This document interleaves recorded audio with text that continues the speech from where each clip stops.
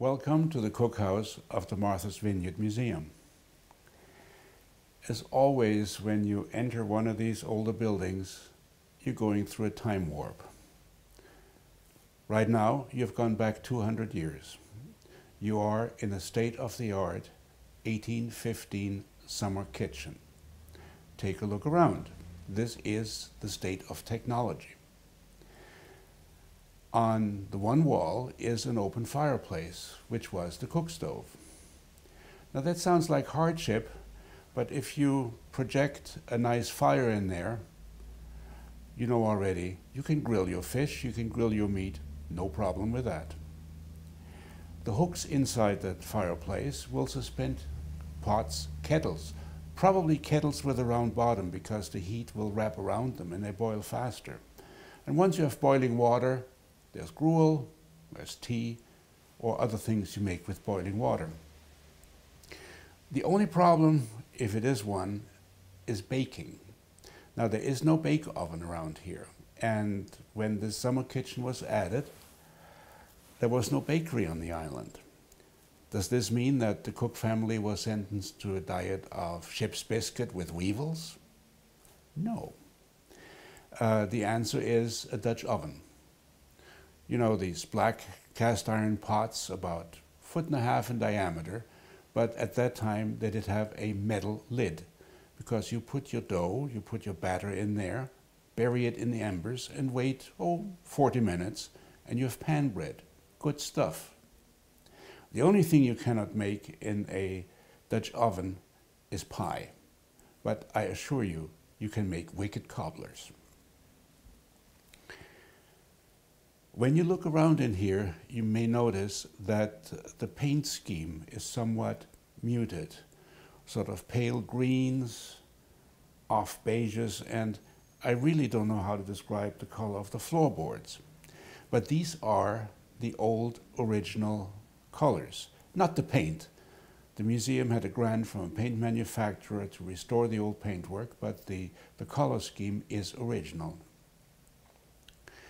Also, when you look down on the floorboards, especially when you look against the light, you may notice modern mill marks, cuts sort of close together. And they indicate that these boards were cut by a sawmill. Now, we don't know whether it was driven by a water wheel or a steam engine or old Fred's Model T engine. We don't know that. But it was not hand cut. You also may notice when you look down that there are two kinds of nails. Nails with a triangular head, these are the old ones. And from a housekeeping point of view, they have an advantage. The shaft of these nails is coarse, uneven, and once they're in, they stay. Modern nails have a smooth shaft and they have to be redriven at some intervals to stay out of the way. Also what you see is an open beam that we left uncovered because it shows a construction principle. It is about 16 feet from the points of suspension. And that is about the longest stretch you can have on a beam without a support that will not bow visibly. It bows a little bit, about an inch if you look closely. And of course it helps that we don't put a piano on top. Also what you see here is the windows with those very small panes. Now that was because glass was produced that way. It was, it's handmade glass. It's quite soft, by the way. Uh, what happened is the glass was blown into a cylinder-shaped form, which was then clipped open, and the flat piece of glass inside was left to cool down on either metal or a stone slab. And sometimes it didn't cool evenly, and that's why you have these distortions and things that look like faults in the glass. Well, they are, but they are old. On one window pane, you also have a scratched in signature by, by a Mr. Pease. Now, we don't know whether he was a visitor or one of the later owners of the house, but it is still there please do not imitate Mr. Pease. Behind me is the old outside door to the house. Four planks, very plain, with good iron hardware, and if we keep the rust away, it'll last forever. When we entered this room through the old outside door, you noticed that the door is quite low. Now, this is not because people were so much shorter, it is an energy conservation system. Because this room, the old kitchen, was known as the keeping room. This was where the family stayed most of the time between the end of October and May. It was the only room in the house that was heated 24 7, and uh, the rooms to the sides of this keeping room were meant for people who needed a little, a little extra comfort, warmth, uh, old people, children, pregnant women, and so forth. Now, when you came in here, you may have noticed that the floor is tilted. The original keeping room did not have a wooden floor, it had a dirt floor. Now, that sounds uh, kind of stark, but it has several advantages. First, it's fireproof. And when the fire was going 24 7, you would have to be wary of sparks flying. The other point is that uh, you could even out the tilting of the floor. You had a level floor here. And also, if it got too scuzzy, you could scrape the top layer off, cart it away, and have a new floor. The house was built, as far as we can tell, roughly in 1732 by a man who called himself uh, Temple Philip Cooke. Now, Mr. Cooke is a man of mystery. We have an indication that he was born in England in 1704, and he came to the island in the early 1720s. Local tradition has it that he was the first lawyer on the island, but research has failed to turn up any law degree with his name on it. Now, whether he changed his name when he came to America for reasons that you can speculate on, did he run away from a client? Did he take the client's money?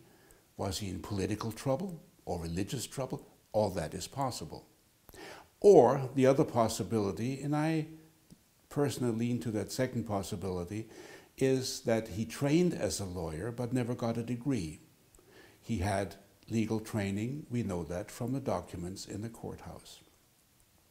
Now, Mr. Cooke got married. Uh, the exact details, whether it was a girl with the last name Coffin or some other people say she was uh, a Daggett, we're not 100% sure, but there were children, uh, about half dozen of them. And one of the children, the son, did indeed have a law degree and got appointed judge in Dukes County and uh, served as a judge. He didn't like the, uh, to have whole court in, in taverns with dirt floors, smelly places, noisy. He decided to have court here in his home, and we'll see his courtroom in a moment. The construction details in the keeping room are quite nice for the age. They date to the early part of the 18th century. There is some details in the beams and posters that indicate that the house probably was built with some recycled materials. By recycled materials, I mean items from older structures that were put into service here. Because we have to remember that by 1780, there was no forest left on this island. It was clear cut. And if you look at the uh, paneling on either side of the room that screened off the smaller rooms, the nicely uh, paneled wood, uh, wood, you see they're quite wide. So this must have been substantial trees to cut panels this wide. Now this room here, after the darkness of the keeping room, is quite different. And what you see behind me and on the, on the other walls is the decoration that the judge had put in in 1750 to make his courtroom a little bit more formal.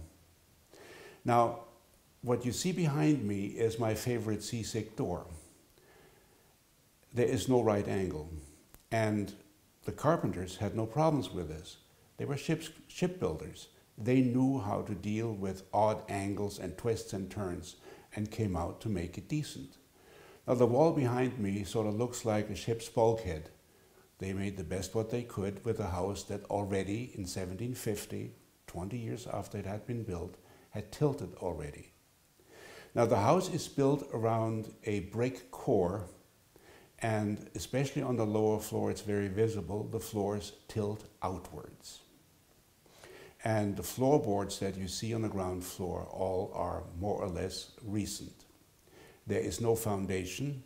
The sills sit directly on dirt. There is, however, a root cellar, and there is a legend combined with that root cellar. I'll speak about that in a moment. But when the floorboards had to be replaced, uh, the museum felt this would be a good opportunity to investigate the ground underneath. That's where stuff ends up. And basically, there were three layers. A first layer, where the sand and dirt in general was the way the glaciers had deposited 18,000 years ago, nothing in it. The next layer up, the usual Indian artifacts, arrowheads, spearheads, some tools and on a top layer, stuff from the settlers. And the cabinets in this room, these glass cases, show a sampler of about the 6,000 objects that came out of the ground. Uh, it's a rather strange collection, but all of a sudden, an image of the Cooke family comes up. Namely, they were not poor. First, although that's not necessarily indication of richness, there's a toothbrush. Unusual for the 18th century, just remember the trouble that President Washington had with his teeth. Next to it, fragments of a porcelain doll. Now, I'm sure that little girl cried her eyes out when her doll broke. A porcelain doll was not only something very special, it also was probably expensive normal at that time, the rag dolls. But more telling uh, are those little blobs of fabric on the left side of that glass cube. They're remnants of silk rags. Silk rags? Well, you can't go down Main Street and buy silk rags. Number one, the hardware store is gone. Number two, you don't buy silk rags. Somebody in the family had silk clothing. Now, we don't know whether it was a man's shirt, or women's clothing, but in Yankee tradition, it was being used up. Silk clothing was expensive. Now, you may wonder why the furniture hardware ended up in the throwaway dirt. Well, the problem is probably that it was from furniture infested with powder post beetles. Only modern chemistry can get a handle on those. At that time, the only way to keep, keep it from spreading further was to burn it. And some of the hardware probably went into the fireplace with it. Remember, wood was at a premium. And this way you could combine the agreeable with the useful. But also, the hint about money in the family is further highlighting what we found in the other two cabinets on the west wall fragments of dishes. Now, it shows quite clearly that the family had three sets of dishes. First, earthenware, coarse stuff, utilitarian stuff, including a gin bottle and water jugs. The house never ever had running water. Every drop of water to be used in this house had to be brought in and carried out. I don't think the family threw dirty water out their windows. Next, porcelain for everyday wear. Mocha ware, salt glaze work, coarse stuff, but very useful. And then China.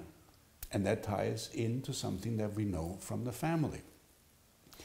One of the grandsons of the builder was a captain in the China trade. China trade meant that items from the Northeast, predominantly furs, beaver pelts above all, and deer antlers were exported to China and traded for porcelain. That's why we call it China. Um, by the way, a trip from New Bedford to the treaty ports where the trading took place uh, took about 200 days around Cape Horn because the Panama Canal was not yet open. If they didn't make it around Cape Horn, had to go around Africa, you can easily add another 50 days. So it was not an easy trip. And what was brought back was very useful, not terribly high class, if you will, stuff, but plain porcelain, plates, saucers, small plates, and so forth. Most of it in pink, some of it in blue. And I'm sure the captain bought, traded for his own use a barrel full of this stuff, and some of the fragments ended up underneath the house after it broke. Now, how do we know it was from the period? Well, on one wall you see a clay pipe and fragments. Now, the staff ran something like a carbon test determining the age of these clay pipes, and they all came from the period about 1760 to 1770. And that's a very good indication when they were broken and ended up there. And this is a hint onto the timeline. We are now uh, just inside of the main door of the house. Uh, now, in good old New England tradition, the back door, the one that we entered into the keeping room, is the door that was normally used. The front door of the house basically serves two purposes. Nowadays, it would be bad news and UPS. At the time, we're talking now the early part of the 19th century, the family had undergone a change. That is, one of the descendants of the builder of the house took a job with the federal government. He was customs collector. Uh, the Customs Service was established by executive order of President Washington in 1781.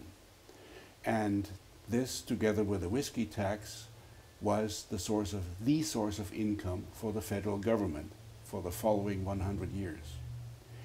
The system worked quite well.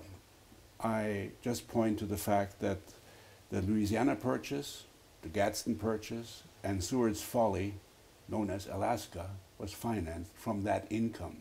The whiskey tax didn't bring that much. Now, the younger Cooke, as a customs collector, had his office upstairs. And since the sea captains were coming on an official visit, they came through the front door. Uh, it looks like the property is very narrow at this point, but there is a right of way where they could have maybe even drawn up in a carriage. And they went up these stairs, and if you look at the floorboards upstairs, you could see where they stood and shuffled. Do we really have to pay cash for this? Yes, the ledger will tell you. Now, if you look at the staircase, this is a rather standard staircase for the period. Uh, there are several like it here in Edgartown and all over Massachusetts and Connecticut. But what makes, uh, what makes it unusual is, number one, there is this very heavy-duty hook you see on my right. Now, this is not for visitors' coats or the visitors if they were disliked. It held a fire bucket.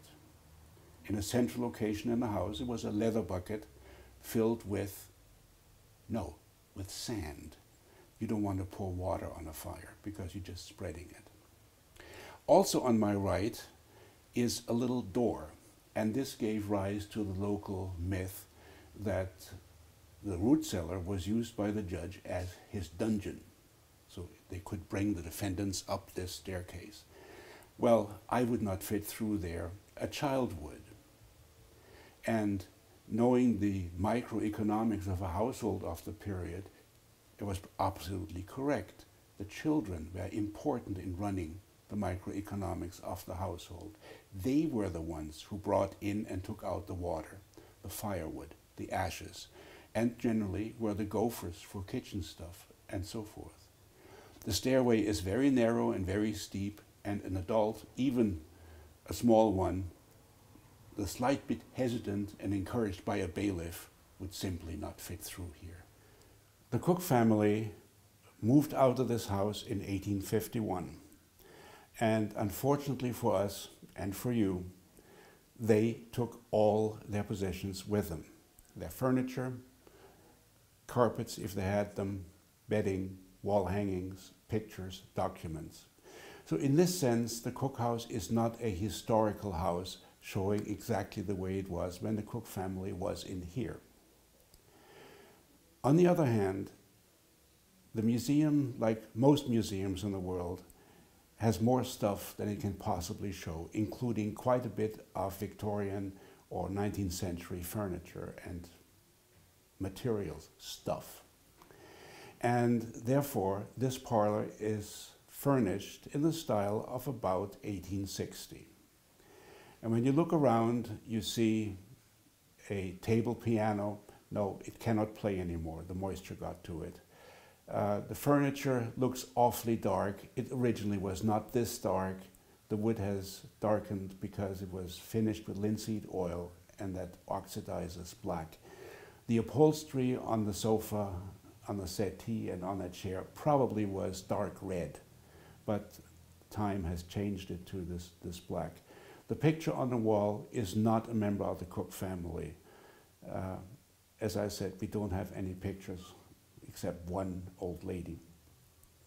Also here on display are things that sailing members of the family or of the community would bring back from trips here uh, from the Pacific. You see two ceremonial paddles, you see uh, exciting large, uh, large seashells, and an interesting looking nut. I'm told it's the largest one in the world. Uh, all items that would be brought home and shown to the family and displayed for visitors. And this was sort of what went on in these formal parlors. It was for formal visits. Friends came through the back door and had tea with the family in the kitchen.